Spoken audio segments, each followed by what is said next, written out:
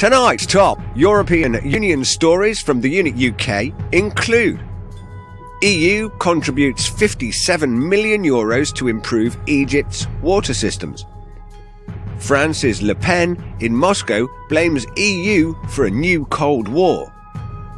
And European Union to approve bank rules before May election slows legislative machine. So, is HS2 driven by the EU?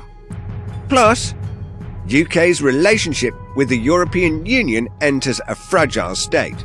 It's Thursday, May 1st. I'm Rick Timmis, and this is the Unit Nightly News.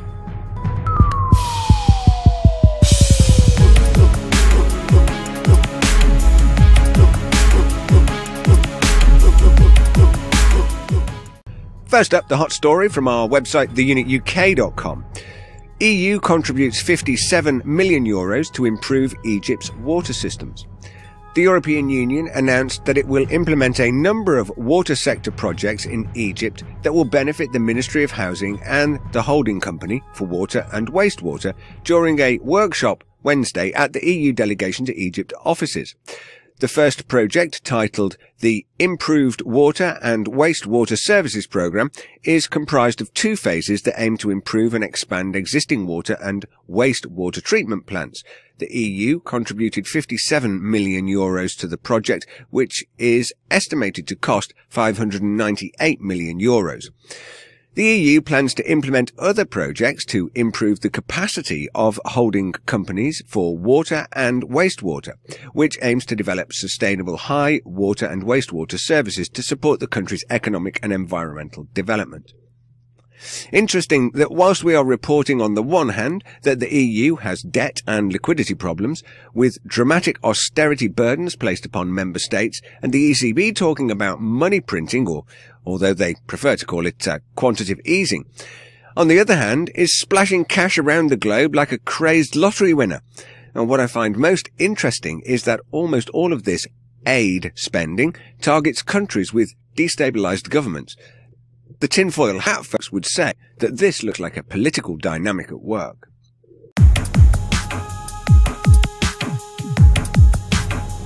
France's Le Pen in Moscow blames the EU for a new Cold War. Marine Le Pen, leader of France's far-right National Front, blamed the European Union for declaring a new Cold War on Russia that would hurt all concerned. Russian media reported on Saturday as they paid an official visit to Moscow. Europe-Russia relations are at their lowest ebb in decades after President Vladimir Putin's annexation of Crimea prompted the EU to impose sanctions on dozens of prominent Russian officials and lawmakers. However, Le Pen, along with other Eurosceptic leaders of the far left and nationalist right, believe the original fault lies with Brussels for offering closer ties with the Ukraine, a move that Russia opposes. Well, as in story one, whilst the chips were down in the Ukraine, economically speaking, the EU was beckoning from the wings. Come and join, come and join, with an ECB and an IMF gravy boat in each hand. Now, whilst we in Britain class chips and gravy as a national treasure, Russia, it seems, is not so keen.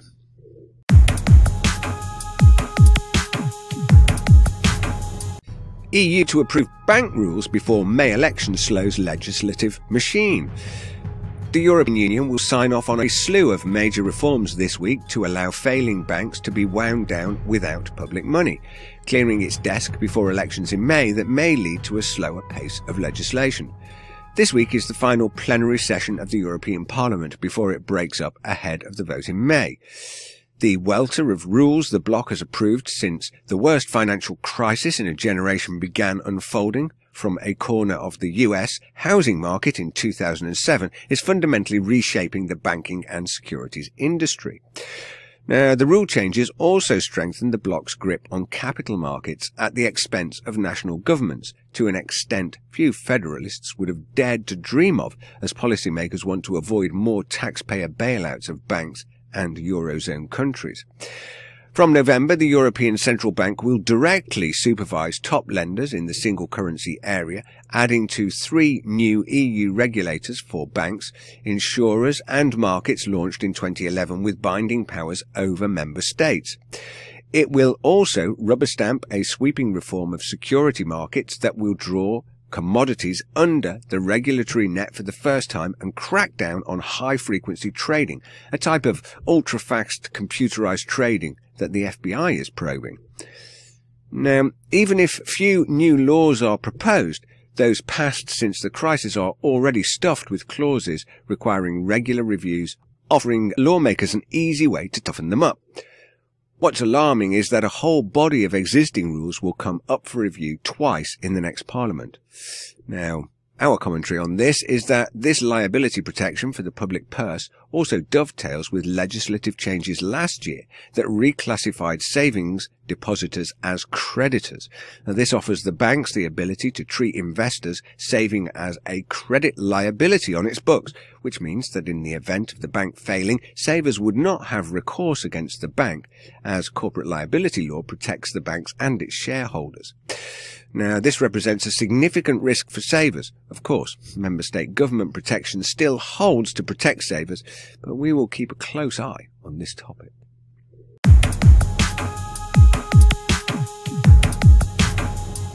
So, is HS2 driven by the EU? This is the second of a series of blogs that we will publish on the link between HS2 and the EU's transport policy TEN-T. The previous blog on this set out some of the basic elements of the TEN-T policy and can be found here. Now in this blog, I want to say something about the overall thrust of TEN-T policy and the extent to which it has or has not driven HS2.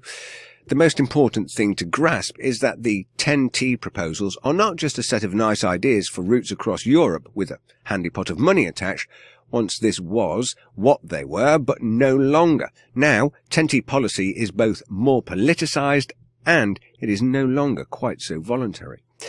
Unfortunately for TEN-T policy over the years, member states have not gone on and done what they were supposed to do in terms of building the transport networks that they all agreed would be a good idea. So a key feature of the 2013 revision of the TEN-T policy is that the EC will play a more dominant role in getting the actual infrastructure built and running. So, a key feature of the 2013 revision of the TEN-T policy is that the European Commission will play a more dominant role in getting the actual infrastructure built and running. This is through what they refer to as the new governance instrument of TEN-T policy. This article digs deeper into this European-wide transport policy and is a prime example of the EU direct effect mechanism at work. This mechanism provides the vehicle that overrides member state national parliaments and laws, driving European policy from the top down, whilst disguising it as national decision making.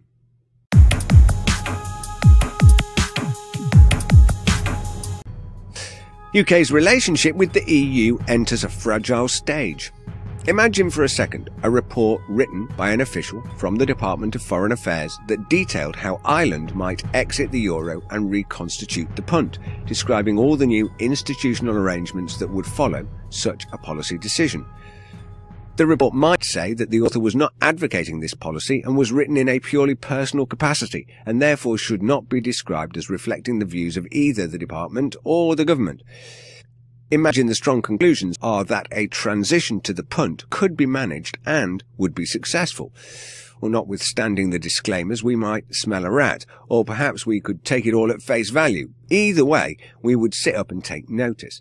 At the very least, we would wonder why the authorities would permit publication. It would be quite a provocative act. A relatively junior official in the UK Foreign Office has just won a €100,000 Euro prize for describing how the UK might successfully exit the EU. It is perhaps ironic the prize is denominated in euros.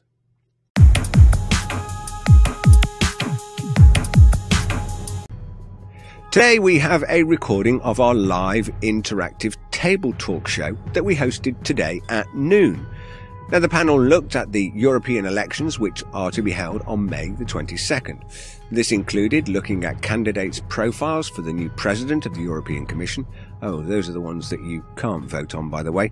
And we looked at the structure of the European parliamentary system, hoping to unravel how it works. I mean, it's always helpful to actually know what it is you're voting for. And we also asked the question, how do the mainstream national parties campaigns relate to Europe? It was an excellent show, and for those of people that took the time to join us today, we are very thankful.